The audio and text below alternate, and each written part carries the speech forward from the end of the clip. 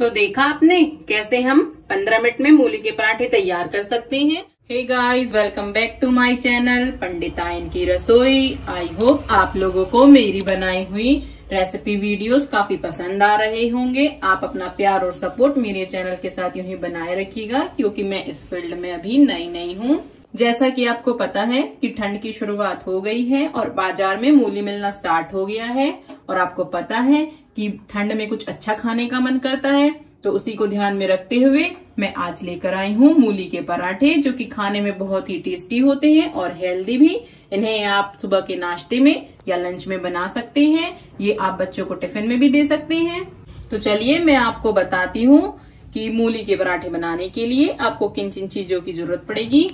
तो सबसे पहले हमने यहाँ पर मूली ली है। यहाँ पर हमने दो मूली ली है। पत्तों को हमने इसके हटा दिया है, क्योंकि हम पत्तों का इस्तेमाल नहीं करेंगे।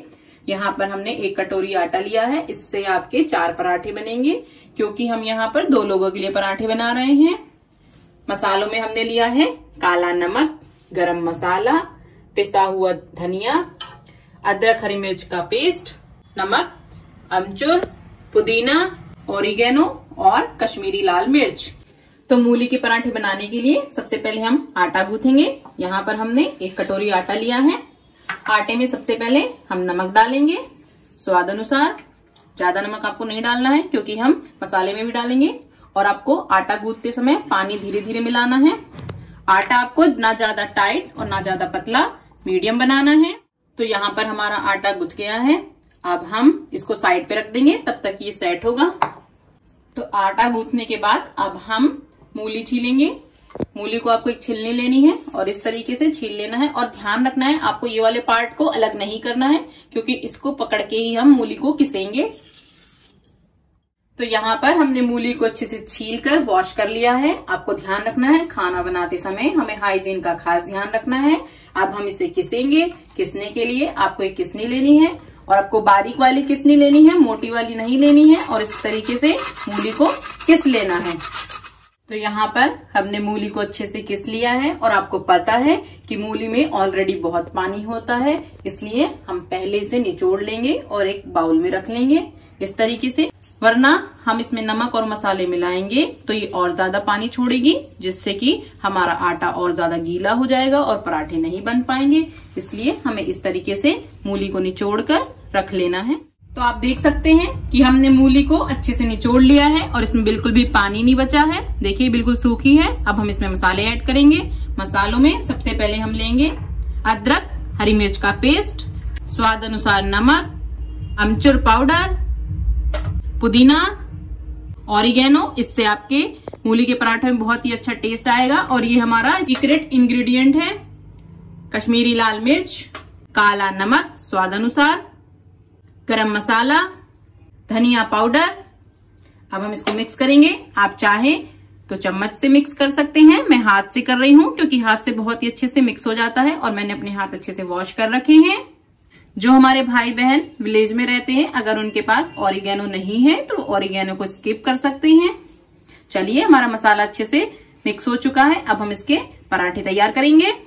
तो मूली के पराठे बनाने के लिए सबसे पहले हम आटा लेंगे। और आटे की हमें मीडियम साइज़ की लोई बनानी है। ना ज़्यादा छोटी और ना ज़्यादा बड़ी। इसमें हम हल्का सा आटा लेंगे और पटे पर रखेंगे। इसको धीरे धीरे हमें बेलना है। ज़्यादा बड़ी लोई नहीं करनी है। हमें स्टफिंग करनी है। मतलब कि हमें भरना है इसके अंदर मसाला, इसलिए छोटी लोई बनाएँगे। ये देखिए, यहाँ पर ये तैयार हो गई है। अब हम इसमें मसाला रखेंगे। और मसाले को आपको ना ज़्यादा, ना कम, मीडियम रखना है ताकि आपकी लोई फटे नहीं। अब इसको हम जोड़ेंगे।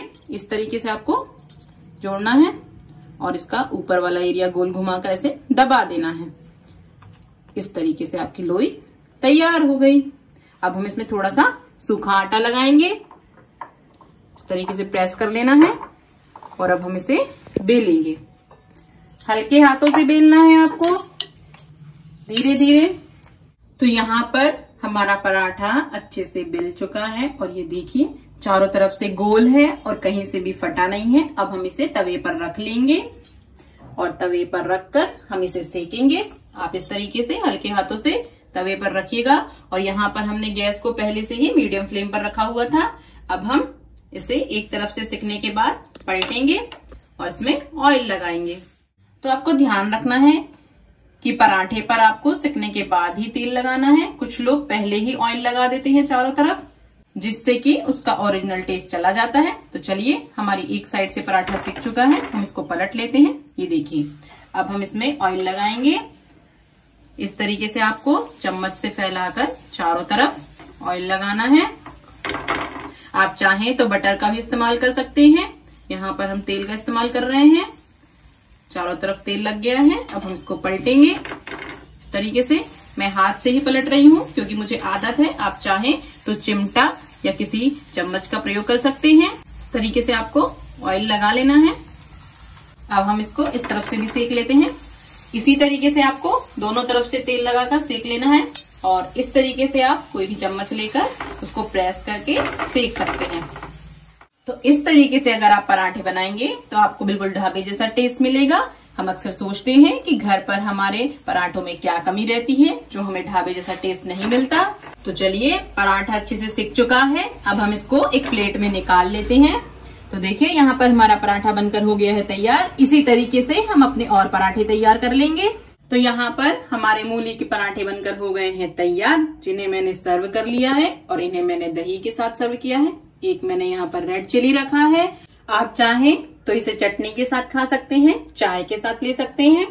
तो देखा आपने कैसे हम 15 मिनट में मूली के पराठे तैयार कर सकते हैं। अगर आपके घर पर गेस्ट आ जाए और उनका रोटी खाने का मन नहीं है तो आप जल्दी से मूली के पराठे बनाकर सर्व कर सकते हैं। अगर आपको मेरी आज की ये मूली के पराठों की रेसिपी पसंद आई हो तो मेरे वीडियो को लाइक कीजिएगा और कमेंट कीजिएगा चैनल को सब्सक्राइब कीजिएगा रेसिपी वीडियोस को अपने फ्रेंड्स और रिश्तेदारों के साथ शेयर करना बिल्कुल भी मत भूलिएगा।